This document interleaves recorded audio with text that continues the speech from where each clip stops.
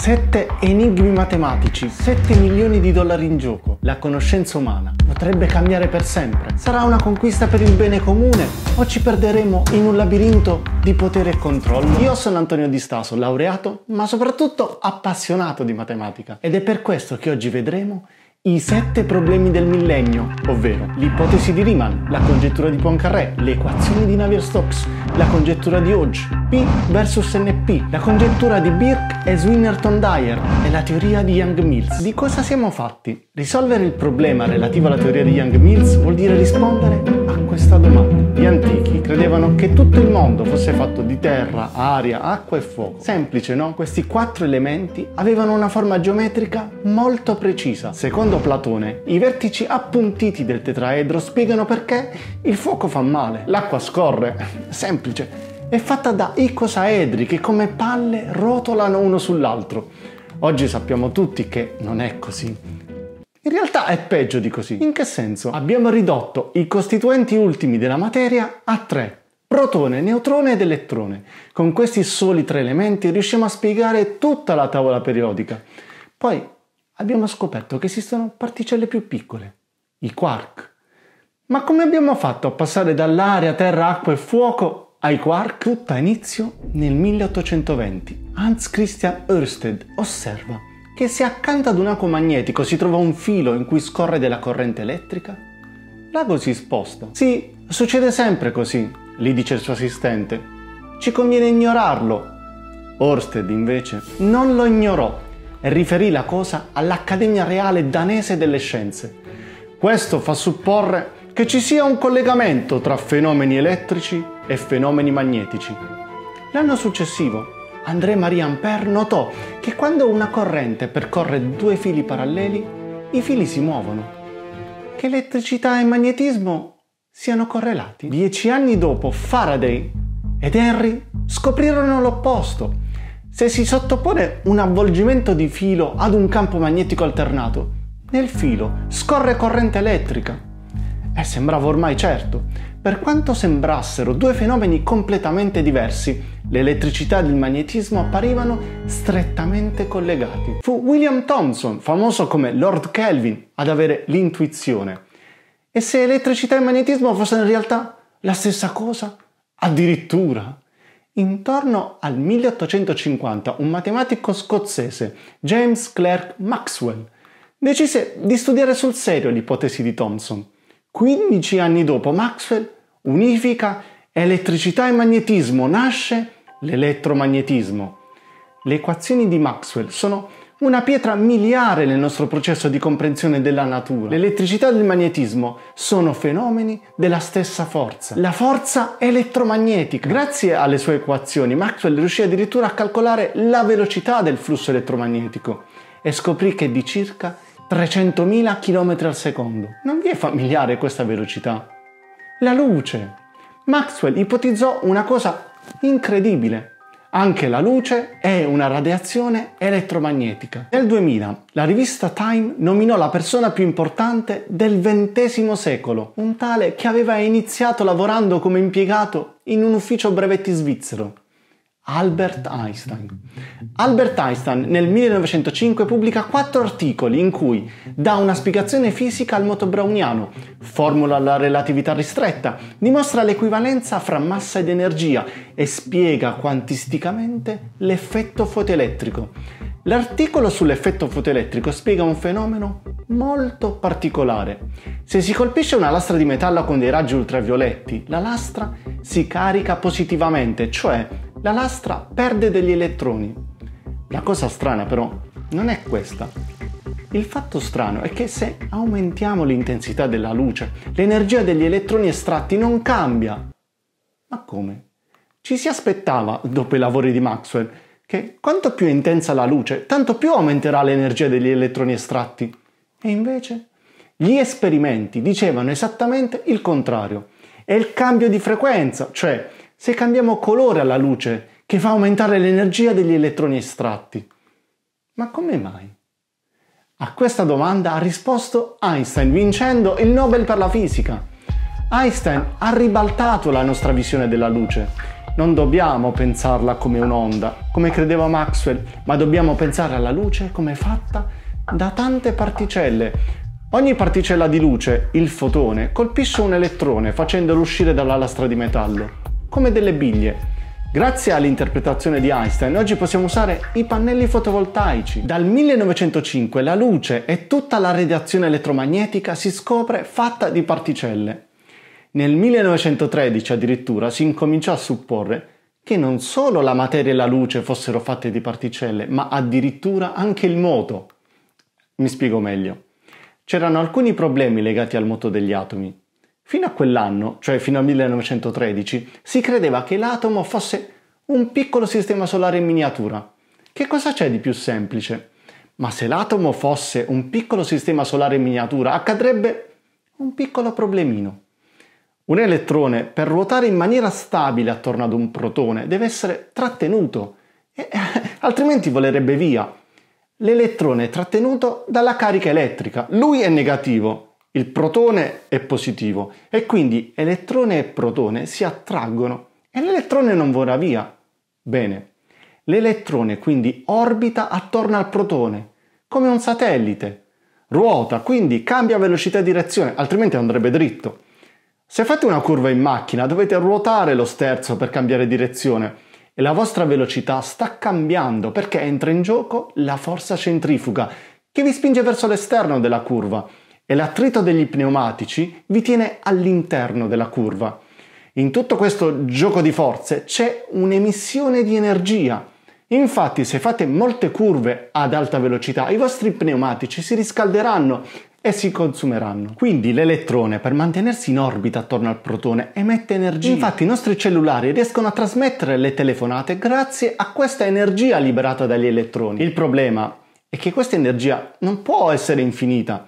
Nei cellulari noi abbiamo le batterie, gli pneumatici dell'auto si consumano e nell'atomo? Eh, Nell'atomo l'elettrone finirebbe per precipitare verso il centro del nucleo. Dopo 100.000 giri l'elettrone dovrebbe schiantarsi sul protone e l'atomo collassare dopo soli 0,02 nanosecondi. Perché tutti gli atomi dell'universo non collassano in un miliardesimo del tempo che ho impiegato a pronunciare questa frase? Perché nell'universo ci sono in circolazione atomi da 14 miliardi di anni? Fu Niels Bohr a proporre una soluzione. E se le orbite dell'elettrone in realtà non sono orbite? Forse il moto all'interno di un atomo è fatto a salti. In questo modo solo alcune altezze orbitali sono consentite, cioè solo alcuni livelli di energia. E questa proposta di Bohr funziona! Con questa ipotesi l'atomo non collassa più. E non solo, finalmente si riescono a calcolare le frequenze esatte dell'atomo di idrogeno. Anche Bohr così si meritò il Nobel per la fisica. Purtroppo per atomi più complessi di quelli dell'idrogeno il modello di Bohr non funziona più. Ci pensò Louis de Broglie a trovare un modello più funzionale. Dimostrò che ogni particella, incluso l'elettrone, possiede delle proprietà tipiche delle onde. Eh, ma come? Finora si sono tutti sforzati di dimostrare che in realtà le onde e persino le orbite degli elettroni negli atomi sono fatte di particelle? E ora De Broglie dice che in realtà sono le particelle ad essere fatte di onde. Eppure il modello di De Broglie riesce a spiegare fenomeni che il modello di Bohr non riesce a spiegare. Vi sembrerà assurdo, ma pare proprio che la natura funzioni così. Nel 1905 Albert Einstein, oltre a spiegare l'effetto fotoelettrico, aveva anche formulato la teoria della relatività ristretta L'articolo sulla relatività ristretta spiega una proprietà molto speciale della radiazione elettromagnetica. Quale che sia il nostro sistema di riferimento, quando misuriamo la velocità della radiazione elettromagnetica, la velocità della luce, cioè otteniamo sempre lo stesso risultato. La velocità della luce è una costante insuperabile e ciò porta a strane conseguenze quando si raggiungono velocità prossime a quelle della luce come il rallentare del tempo e l'accorciarsi delle lunghezze. Dopo, grazie ai lavori di Sinchiro Tomonaga, Julian Schwinger, Richard Feynman e Freeman Dyson, fu possibile coniugare la relatività ristretta con l'interpretazione quantistica dei fenomeni elettromagnetici.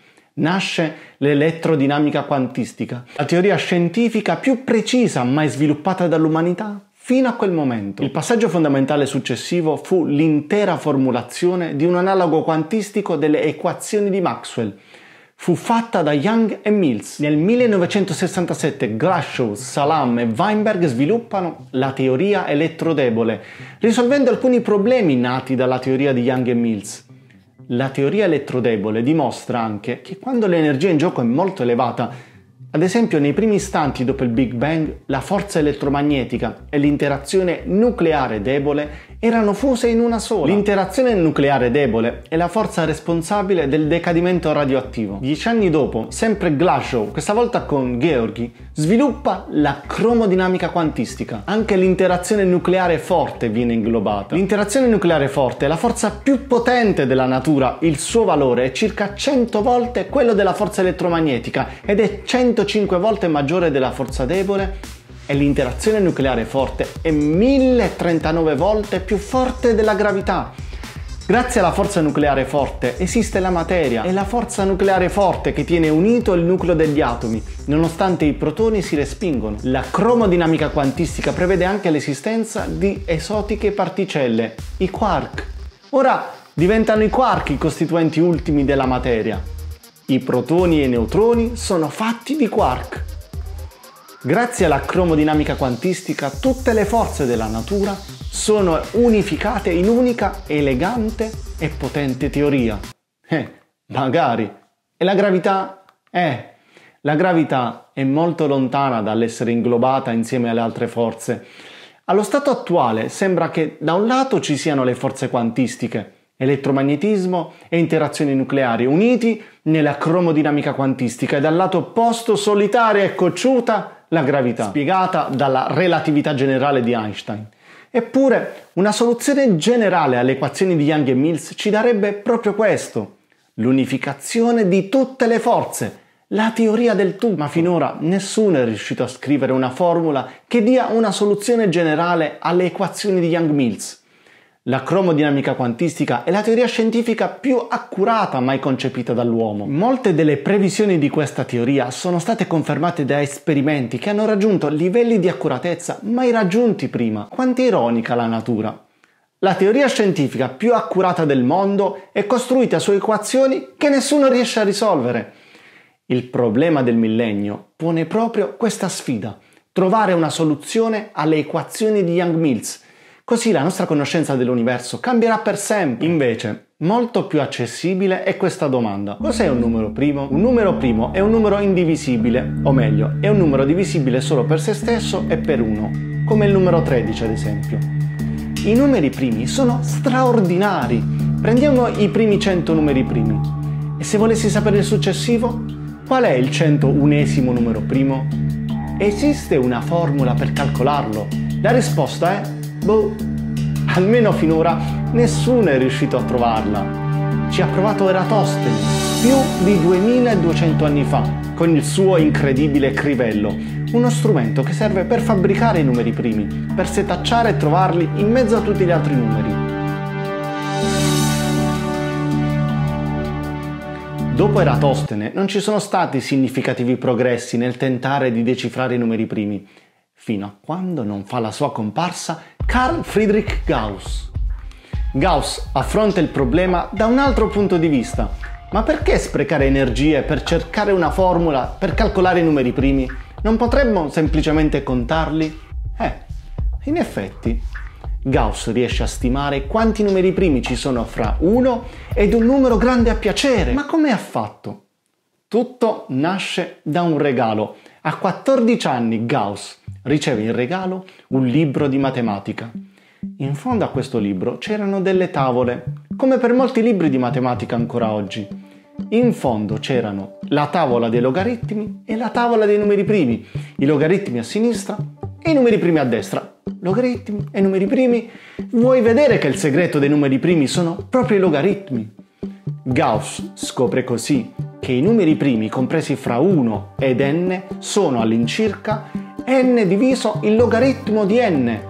Ecco trovata la stima. Voglio sapere quanti numeri primi ci sono fra 1 e 1000? Basta dividere 1000 per il logaritmo di 1000. Ma è grandioso! Fermi là. Purtroppo questa stima di Gauss al crescere di n perde la sua precisione. Fino a 1000 non ci sono problemi, fino a 10.000 va bene, ma se vogliamo sapere quanti numeri primi ci sono da 1 a 100.000, questa stima perde di efficacia. Peccato. Ma dopo Gauss arriva Bernard Riemann. Riemann va oltre i logaritmi di Gauss. Riemann scopre la chiave per accedere al tesoro dei numeri primi, i numeri immaginari. Riemann stava lavorando, per fatti suoi, ad una funzione, la funzione z, e mentre manipola questa funzione si accorge che se nella funzione si mettono i numeri immaginari, i problemi che Gauss aveva con i logaritmi si risolvono. La funzione z, grazie ad il legame già scoperto da Eulero, è strettamente connessa alla distribuzione dei numeri primi. Riemann scopre che se nella funzione z mettiamo i numeri immaginari, allora è fatta! Ci siamo! I numeri primi possono essere finalmente decifrati. Il piccolo problema è che la funzione z estesa ai numeri immaginari produce un grafico in quattro dimensioni. Eh, bella roba. Come facciamo ad esplorare una funzione in quattro dimensioni? Riemann, in questo misterioso paesaggio quadridimensionale, nota che alcuni degli zeri della funzione che si protendono a ovest sono facili da individuare, ma non danno alcun contributo interessante. E gli altri zeri? Gli altri zeri della funzione z non sembrano sparpagliati qua e là a caso, sembrano disporsi eccezionalmente su di una linea retta che attraversa il paesaggio da nord a sud. È come se ogni punto situato a livello del mare abbia la stessa coordinata est-ovest uguale a un mezzo. A questo punto Riemann afferma tutti gli infiniti zeri significativi di questo paesaggio sono allineati lungo questa retta, la retta che va da nord a sud e che passa per un mezzo. Ecco, è questa l'ipotesi di Riemann, L'unico problema rimasto irrisolto nell'elenco dei 23 problemi di Hilbert del 1900 e primo problema della lista dei 7 problemi del millennio del 2000, ancora non risolto oggi. E dall'affermazione di Riemann parte un'incredibile corsa. Le più grandi menti del pianeta hanno provato a dimostrarla, uscendone sconfitte. Hermie, Adamar, Della Valle Poisson, Hilbert, Landau, Bohr, Herdy, Littlewood, Ramanujan, Siegel, Selberg, Erdos, Turing. E poi arriva Gödel, che dimostra che se le regole di partenza, gli assiomi, sono fra loro coerenti, allora ci sarà sempre qualcosa di indimostrabile. Che sia questo il caso. L'ipotesi di Riemann è indimostrabile. Chi lo sa? Tutti ci provano e nessuno ci riesce fino a quando arriva Hug Montgomery. Montgomery non cerca più di capire se tutti gli zeri non banali della funzione di Riemann si trovano effettivamente sulla retta critica, cerca piuttosto di capire come sono distribuiti. Questi zeri sono disposti a caso o sono ordinati secondo una regola? Un pomeriggio a Princeton, all'ora del tè, per caso, Montgomery si ritrova a chiacchierare con Freeman Dyson. Dyson è stato un fisico straordinario, allievo del grande Richard Feynman. Montgomery quel pomeriggio mostra a Dyson il grafico della distribuzione degli intervalli degli zeri della funzione z. Dyson guarda il grafico. Resta senza parole. Che c'è? gli chiede Montgomery. Quella distribuzione di zeri è uguale ai livelli energetici del nucleo dell'atomo di erbio, il 68 elemento della tavola periodica, ma è incredibile! Le configurazioni della distribuzione degli zeri della funzione z di Riemann sono identiche alle distribuzioni che i fisici quantistici stavano scoprendo nei livelli energetici dei nuclei di atomi pesanti. Che si trovi all'interno dell'atomo la risposta al dilemma dei numeri primi, ma non è tutto. Le vibrazioni energetiche di un atomo assomigliano a quelle di un tamburo. Se cospargiamo una lastra metallica con un sottile strato di sabbia e la mettiamo in vibrazione, a seconda della frequenza a cui la lastra vibra, compariranno delle splendide figure geometriche. La matematica che descrive queste frequenze è la stessa che serve per calcolare i caratteristici livelli energetici a cui vibrano gli elettroni di un atomo. Le vibrazioni di una lastra che crea meravigliose forme geometriche sono descritte dalla stessa matematica che descrive i livelli energetici di un atomo, che descrive la distribuzione degli zeri di Riemann. Sarà un fisico quantistico a dimostrare l'ipotesi di Riemann? Invece è stato proprio un matematico a risolvere la congettura di Poincaré, unico problema dei sette ad essere stato risolto. In realtà non proprio. Ora vi spiego. A tre matematici viene mostrato un cubo. A ciascuno viene chiesto che cosa vedi.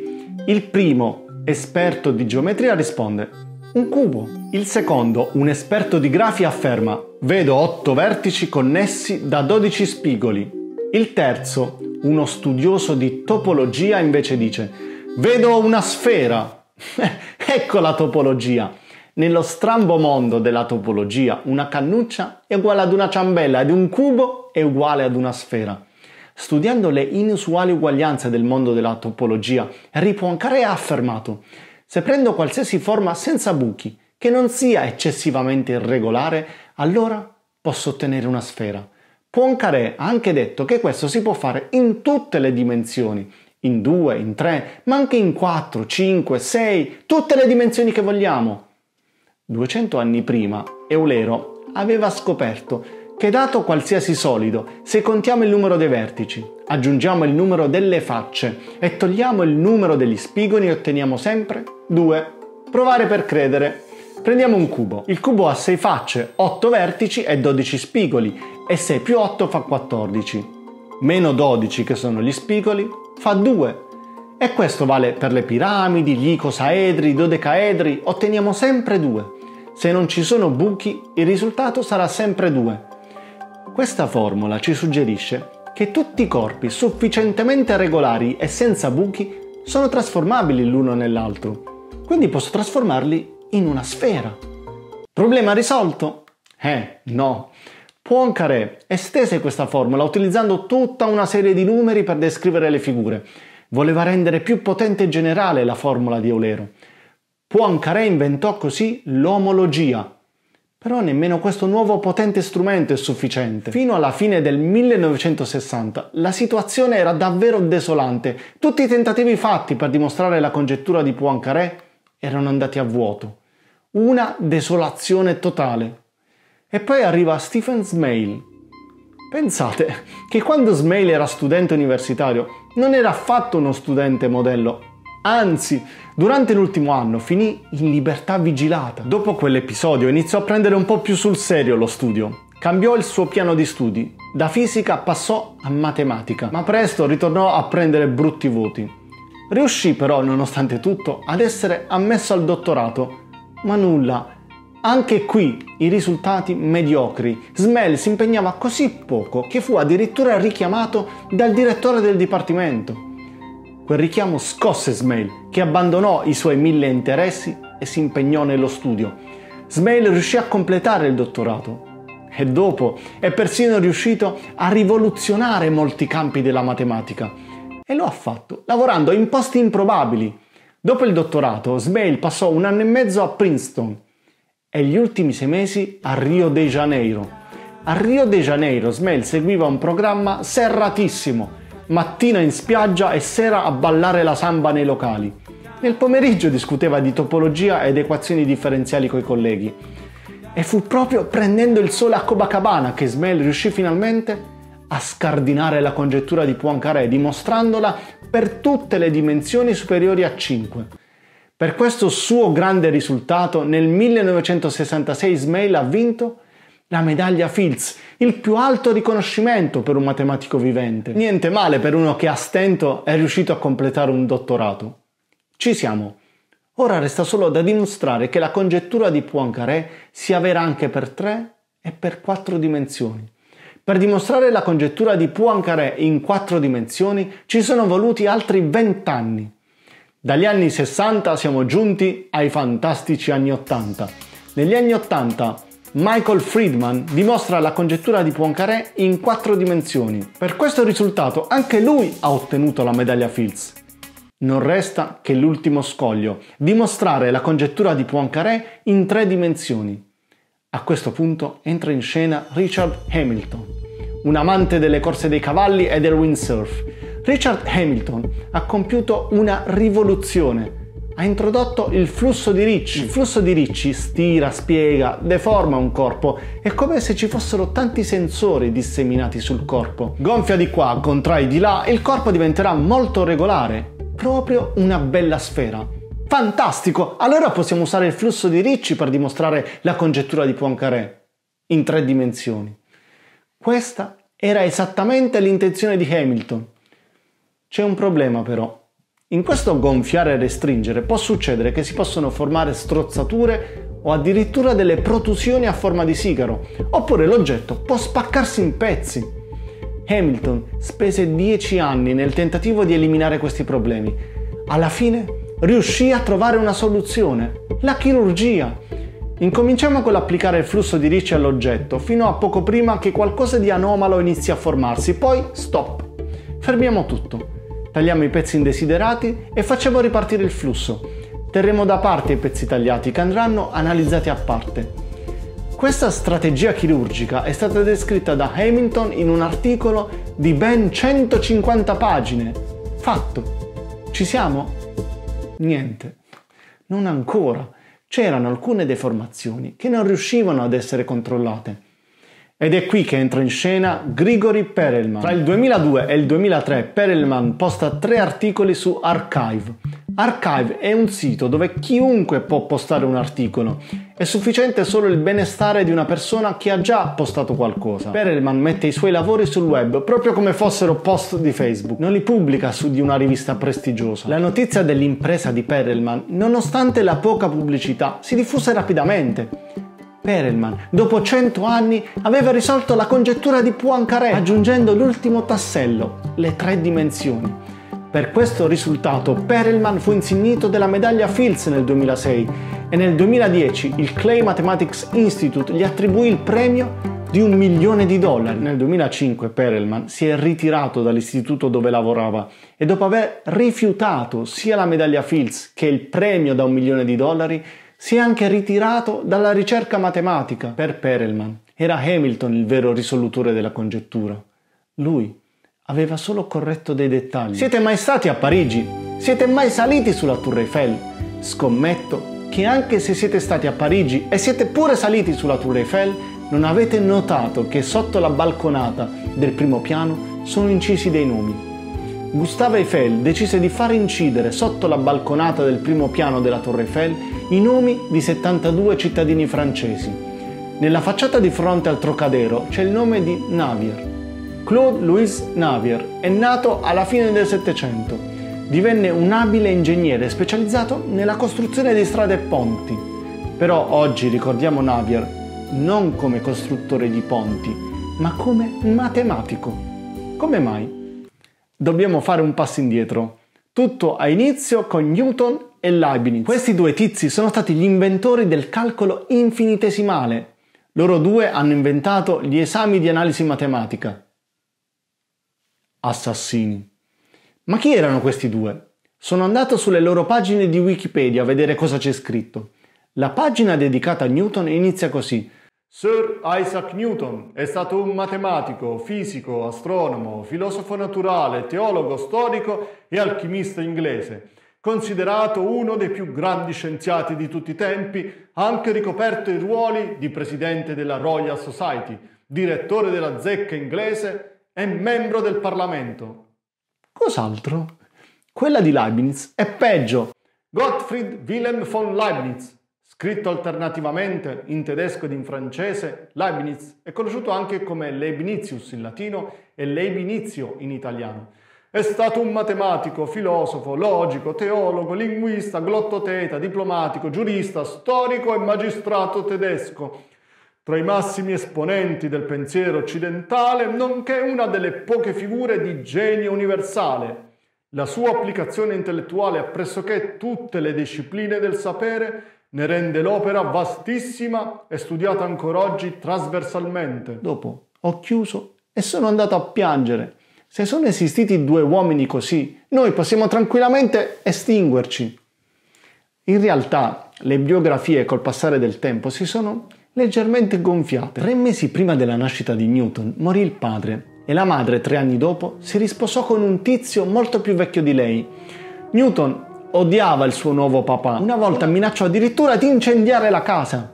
Quando Newton compì dieci anni, il suo patrigno morì e gli lasciò una cospicua eredità, con la quale poté permettersi di frequentare la King's School. Eh, mica male, meno male che non appiccò il fuoco. A 19 anni Newton compila una lista dei suoi più grandi peccati, ne scrive 48. In uno di questi scrive mi pento di aver fatto le torte di domenica sera. Oppure Mi pento di aver preso a pugni mia sorella. Mi pento di aver voluto incendiare casa. Alla fine del 1658 la madre lo costrinse ad abbandonare gli studi e lo richiamò a casa per accudire i campi. Ma si rivelò un pessimo agricoltore. Ma vi immaginate, Newton contadino. Poco dopo scoppiò la peste, il college fu chiuso. Newton approfittò di questa interruzione per proseguire gli studi per conto proprio. Durante quell'anno di isolamento, a soli 24 anni, Newton concepì le idee sul calcolo infinitesimale, quando si dice eh, gli effetti del lockdown. Newton non pubblicò subito le sue scoperte, credeva di essere deriso. Vabbè, e ci può stare, non sempre le idee innovative vengono accolte bene. Il fatto però è che Newton non si vergognava affatto di altri suoi lavori. Ad esempio, credendo che il colore fosse provocato dalla pressione sull'occhio, si infilò un ago da calza nell'orbita oculare fino al retro del suo bulbo oculare e annotò tutto. Vedo cerchi bianchi, ora scuri, ah ecco, ora colorati. Nel 1979 sono stati esaminati alcuni campioni dei suoi capelli. Nei capelli di Newton si è trovata una concentrazione di mercurio, oro e antimonio 40 volte superiore al normale 40 volte. E per forza Newton delirava, si beveva il mercurio. Praticamente Newton era diventato un termometro. Uno dei suoi più profondi interessi era l'alchimia. Newton era ossessionato dal trovare la pietra filosofale. Newton come Voldemort. Newton cercava anche l'elisir di lunga vita.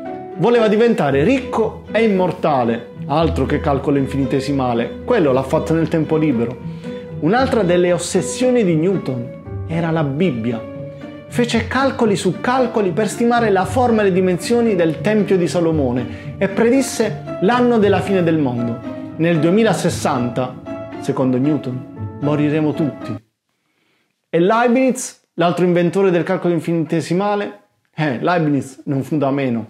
Leibniz trascorse un anno con la società segreta dei Rosa Croce nel tentativo di scoprire la pietra filosofale, pure lui come Voldemort. Leibniz fu nominato segretario dopo aver composto una lettera senza senso contenente oscuri termini alchemici. Sembra di leggere il pendolo di Foucault di Umberto Eco. Leibniz è considerato il padre della filosofia tedesca. Peccato che quasi tutte le sue opere le ha scritte in francese. Anche se Leibniz pubblicò nove anni prima i risultati sul calcolo differenziale, pare abbia copiato da Newton. Sì. Sembra che 11 anni prima Leibniz era stato a Londra in visita alla Royal Society, dove prese visione di alcuni dei lavori di Newton e addirittura lo stesso Newton gli aveva fornito alcuni dettagli. Comunque oggi, grazie a questi due signori, abbiamo il calcolo differenziale. Dopo Newton e Leibniz, Daniel Bernoulli prese l'appena nato calcolo infinitesimale e tentò di applicarlo al mondo reale Bernoulli riuscì ad impiegarlo per analizzare il moto dei fluidi. Dopo, usando i lavori di Bernoulli, Eulero formulò una serie di equazioni che descrivono il moto di un ipotetico fluido. Nel 1822 quello che fece Navier fu aggiungere una correzione alle equazioni di Eulero per poter coprire il caso di un fluido con un certo grado di viscosità. Qualche anno dopo, George Gabriel Stokes riscoprì le equazioni formulate da Navier e spinse la teoria molto più avanti. Grazie ai lavori di Navier e Stokes, sul finire del 1800 sembrava che i matematici fossero ad un passo dall'elaborare una teoria completa della fluidodinamica. Comprendere appieno il modo in cui i fluidi scorrono sulle superfici potrebbe aprire la strada a miglioramenti nella progettazione di navi e aeroplani. Potremmo capire meglio il funzionamento del cuore. Potremmo sviluppare innovativi sistemi in grado di salvare vite umane. Ma c'è un problema un piccolissimo problema. Nessuno fino ad oggi è riuscito a trovare una formula che risolva queste equazioni di Navier e Stokes. In realtà ancora nessuno è riuscito nemmeno a dimostrare se una soluzione effettivamente esiste. Tutto quello che abbiamo imparato è solo che la fluidodinamica è tremendamente complicata. Ma andiamo avanti. Svelare la congettura di Hodge sarebbe come mappare il DNA delle forme geometriche, rivelando il codice genetico fondamentale che modella l'universo, dalla scala microscopica a quella cosmica. La congettura di Hodge è il più difficile tra i sette problemi del millennio. Tutto ha inizio con Cartesio. Cartesio, nelle sue incredibili riflessioni, fra le altre cose, è riuscito a ricondurre la geometria all'algebra le curve, le forme geometriche diventano equazioni. È un risultato incredibile. Forse quando a scuola si studia l'equazione della retta, l'equazione della parabola, dell'ellisse, dell'iperbole, ad alcuni può piacere, ma ad altri può far dire che palle. In realtà, fino a Cartesio gli esseri umani si erano rosi il cervello per cercare di risolvere problemi di geometria. È la geometria quella con cui si ha a che fare maggiormente. Dovete segnare i limiti del campo da arare? Dovete costruire una casa, una zigurat o una piramide? Dovete costruire un tempio, una stalla, un granaio? Dovete usare la geometria. E risolvere un problema di geometria con la riga e col compasso mica è uno scherzo da ragazzi. Adesso sì, invece, grazie a Cartesio possiamo usare, anziché la riga del compasso, le equazioni. Ora le nostre case, i ponti, i grattacieli sono costruiti a partire da equazioni. Grazie a Cartesio i problemi geometrici diventano problemi algebrici. Risolvere un problema geometrico ora voleva dire risolvere equazioni. A partire dall'Ottocento i matematici si sono scatenati. Cartesio era partito da figure note, il cerchio, la retta, l'ellisse, la parabola, e le aveva trasformate in equazioni. E perché limitarsi a queste misere figure? I matematici allora iniziano a prendere una qualsiasi equazione e a partire dall'equazione, qualunque essa sia, definiscono gli oggetti geometrici. In questo modo nascono delle forme geometriche mai concepite prima e mai concepite nemmeno dalla natura. Nascono le varietà algebriche. Adesso abbiamo davvero preso il volo. I nostri sensi, la nostra percezione non conta più. Le varietà algebriche sono oggetti geometrici inimmaginabili, oggetti che possono avere addirittura più di tre dimensioni. Su questi straordinari oggetti geometrici, le varietà, si possono fare i calcoli così come li facevamo nel piano. Possiamo calcolare la velocità di un punto, ad esempio, possiamo calcolare le equazioni. La congettura di Hodge ha proprio a che fare col calcolo di queste equazioni su di una varietà algebrica. La congettura afferma, fermi, ma chi è questo Hodge? È bello capire che dietro ad ogni scoperta c'è sempre una vita incredibile da raccontare. William Valance Douglas Hodge nacque ad Edimburgo nel 1903. Hodge aveva 11 anni quando scoppiò la Grande Guerra.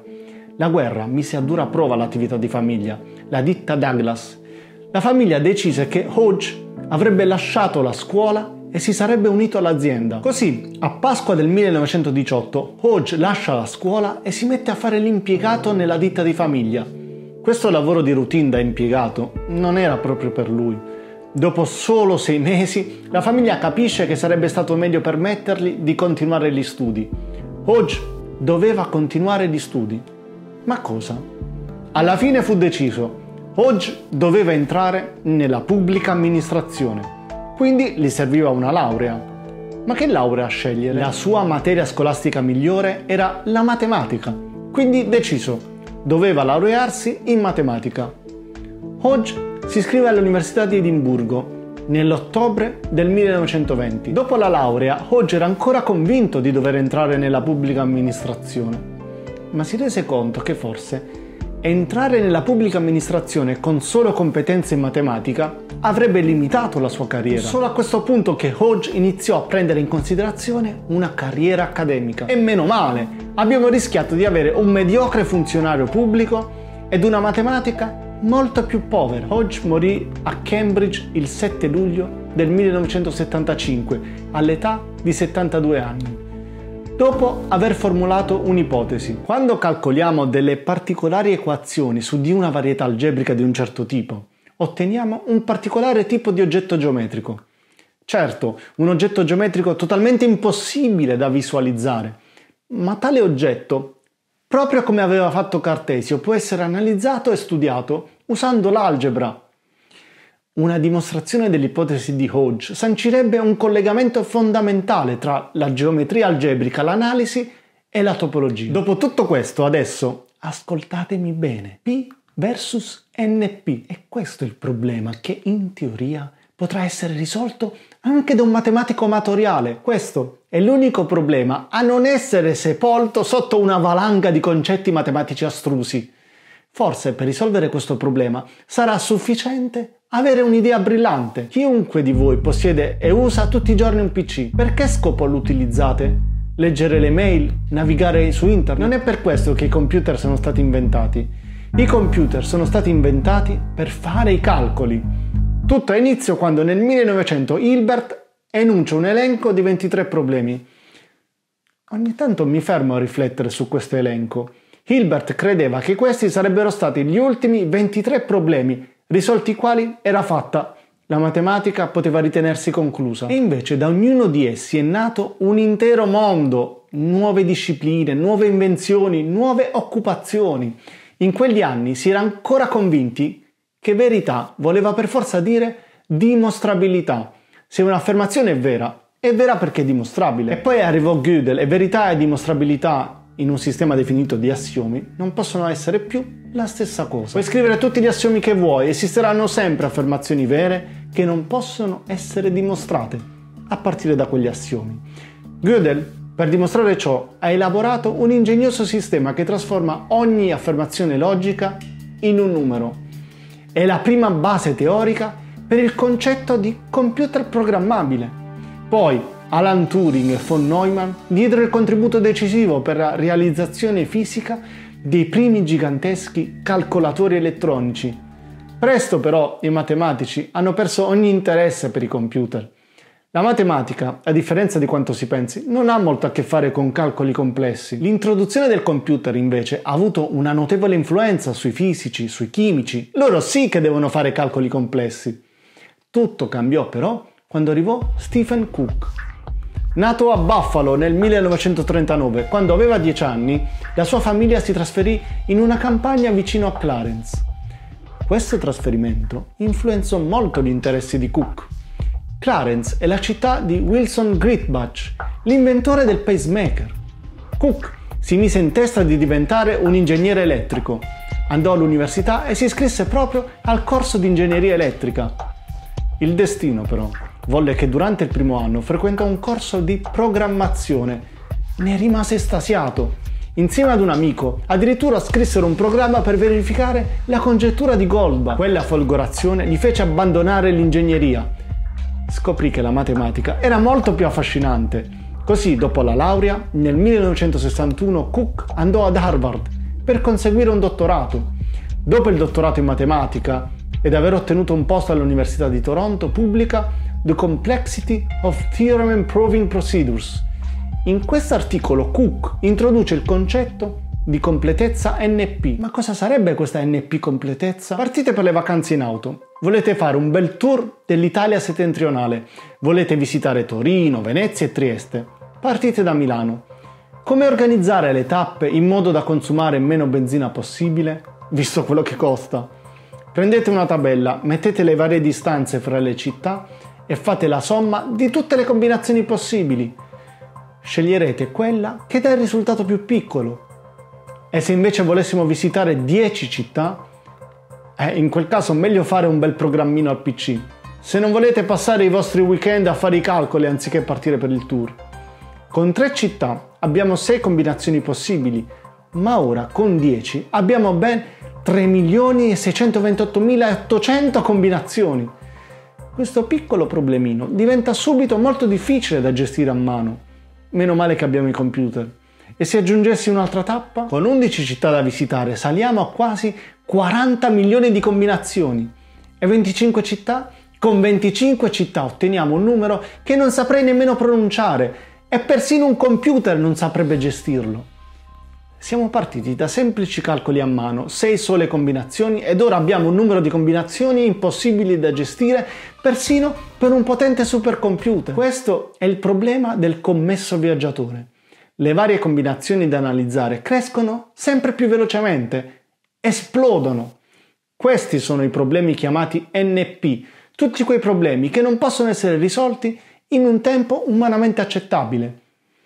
Nell'episodio di Halloween del 1995 de I Simpson, Homer trova un portale per la misteriosa terza dimensione dietro una libreria, in una superficie scura incisa da griglie verdi e disseminata di forme geometriche, sopra le quali ci sono strane equazioni.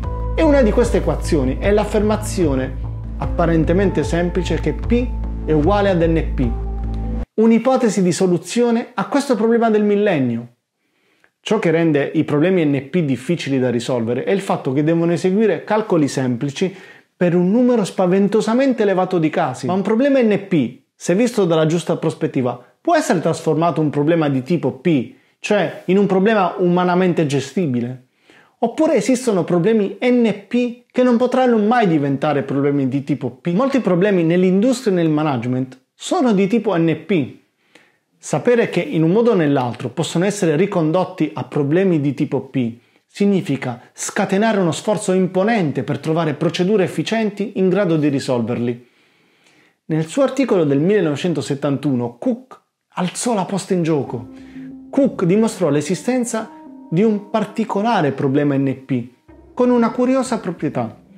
Se questo particolare problema potesse essere risolto con una procedura in tempo polinomiale, cioè se questo problema diventasse un problema di tipo P, allora si potrebbe fare altrettanto con qualsiasi altro problema NP. Cioè Cook ha dimostrato che qualsiasi problema di tipo NP può essere ricondotto a questo particolare problema. Così basterebbe dimostrare che solo questo particolare problema NP può diventare un problema di tipo P, per provare che tutti i problemi di tipo NP possono essere ricondotti a problemi di tipo P.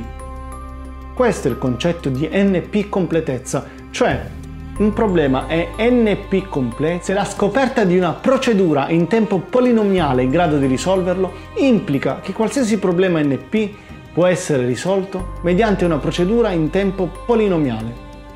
Dopo il lavoro di Cook si è scoperto che la maggior parte dei problemi NP più importanti è NP completa. La sicurezza di tutte le transazioni che avvengono su Internet dipende da variazioni di un algoritmo di tipo NP.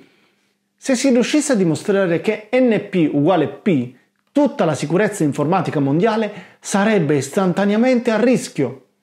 Risolvere il problema P rispetto a NP non sarebbe solo un risultato matematico, potrebbe portare a scoperte rivoluzionarie nel modo in cui risolviamo problemi complessi nella logistica, consentendo soluzioni efficienti a compiti come la pianificazione dei voli, l'istradamento delle consegne e persino l'organizzazione del modo in cui calcoliamo a livello fondamentale. Ed è proprio grazie ad un supercomputer che è nata la congettura di Birk e Swinnerton-Dyer la congettura di Birk e Swinnerton-Dyer si occupa di alcuni tipi di equazioni, quelle che definiscono curve ellittiche sui numeri razionali.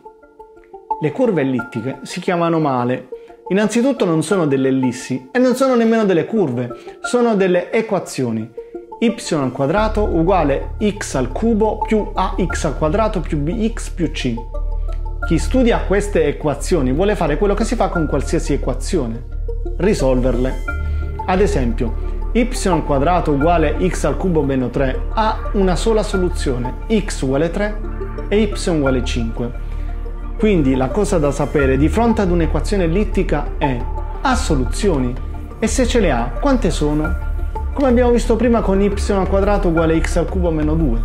La soluzione c'è ed è unica.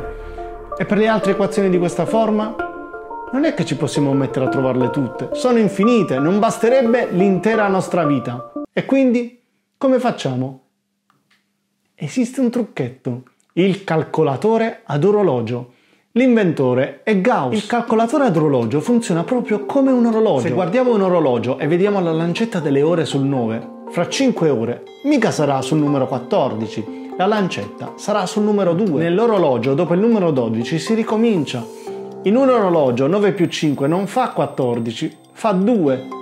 O meglio, 14 e 2 indicano la stessa posizione, così come 1 e 13 oppure 8 e 20. Questo è il calcolatore ad orologio di Gauss. Gauss estese questa idea dell'orologio a quadranti con qualsiasi cifre, non per forza devono essere 12, possono essere quelle che vogliamo.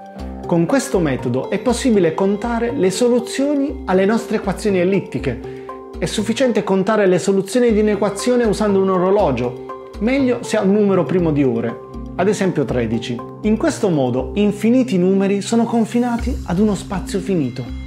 Birk e Swinnerton-Dyer hanno fatto la seguente ipotesi.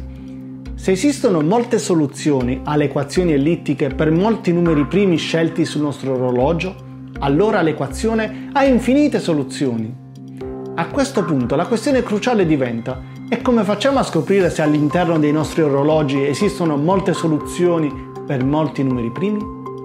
Birk e Swinnerton Dyer hanno calcolato, anziché il numero di queste soluzioni all'interno degli orologi fatti con numero primi, la loro densità. Se sciogliamo della farina nel latte possiamo capire quanta ne abbiamo messa stimando la densità raggiunta dal latte a volte si fa così per le ricette a occhio, senza usare la bilancia. Smettiamo di aggiungere farina quando il nostro impasto è sufficientemente denso. E così hanno fatto Birk e Swinnerton Dyer. Anziché pesare le loro soluzioni, hanno calcolato la loro densità per un numero primo. Secondo loro, è possibile stimare se una data equazione ellittica ha infinite soluzioni semplicemente guardando questa densità. Birk e Swinnerton Dyer si sono convinti di ciò facendo esperimenti. Pensate, una delle ipotesi più astratte della matematica moderna è stata formulata facendo esperimenti. Birk e Swinnerton Dyer usarono uno dei computer più potenti degli anni 60, l'ESDAC di Cambridge. Birk e Swinnerton Dyer sono stati i pionieri di un'area completamente nuova della matematica. A quell'epoca si riteneva un settore apparentemente privo di interesse della matematica. Oggi questo settore è importante per l'industria della sicurezza informatica ed è terribilmente di moda. Ecco che cosa sono i matematici. Sono poeti delle equazioni e artisti dell'astrazione. Ogni teorema è una nota nella sinfonia dell'intelletto. Solo nella matematica la creatività e la logica danzano insieme in una coreografia perfetta. Ma quanto è figa la matematica!